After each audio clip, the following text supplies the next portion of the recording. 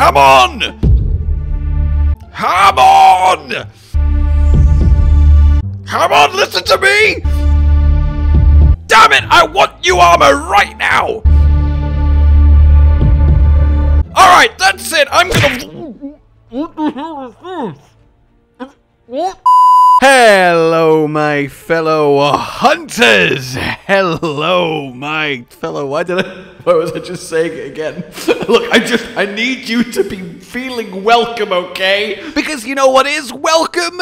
Hey, incredible announcement we just got regarding Monster Hunter Rise and an update heading its way. Because as it turns out, well, we've not actually had our last collab yet. Behold! Yes! This, oh, oh, this is exciting. We are actually going to get a USJ collab with Monster Hunter Rise. And the reason this is exciting, because you might be like, okay, that's cool, I guess, is, well, Monster Hunter has collabed with Universal Studios Japan many, many, many times before. Universal Studios Japan, by the way, is in the process of opening a complete Monster Hunter VR you actually hunt experience that is the first of its kind and looks utterly fantastic. Now, granted, this is focused on Velkhana, so I would be surprised if uh, the, well, collab in Rise obviously was directly to do with that, though it might be in some capacity. In any case, it's, you know, a really good collab to happen. And as I said, it's a collab that has happened many times before. And what generally then does this collab bring?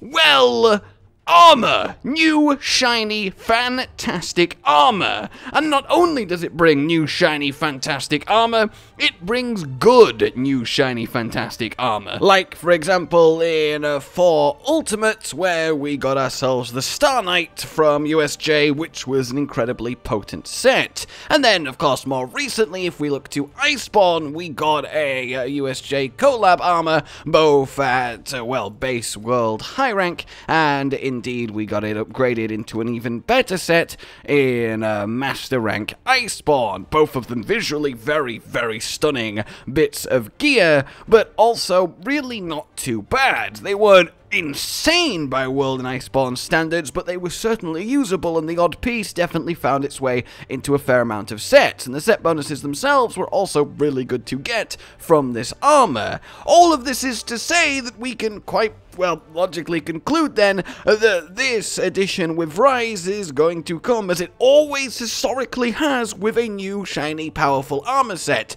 And why is that exciting? Why am I telling you all of this? Why am I making a video about a picture that is two logos with an X in between like they're falling in love?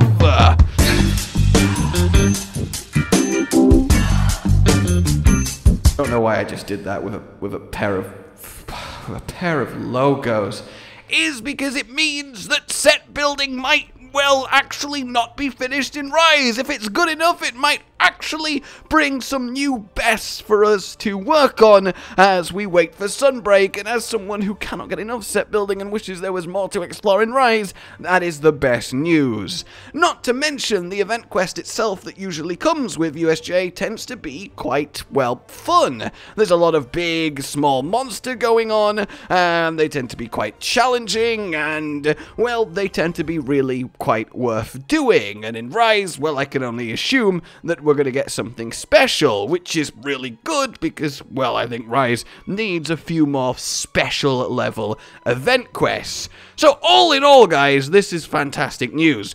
Obviously, I'll bring you more as we know more, but it really is, at least to me, exciting enough to, well, already get excited about it. Especially as USJ sets in the past have actually had aerial focuses, so maybe that could translate to some wirebug shenanigans, unlike anything we've experienced in Rise. In any case, like if you enjoyed this, subscribe for more, please consider supporting the future of the channel on uh, Patreon down below. It really means a lot, and, well, it keeps us going.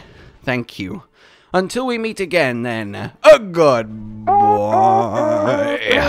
Josh, Cotton, and Hollow with the videos, dropping the humor like a hammer on your tippy toes, bringing entertainment on a daily arrangement to take our insanity and turn it into entertainment. Yes, I said entertainment twice to reiterate that it is nice to look into your faces on a mostly daily basis when you let us in your homes to make the whole world a stage. Is uh goodbye.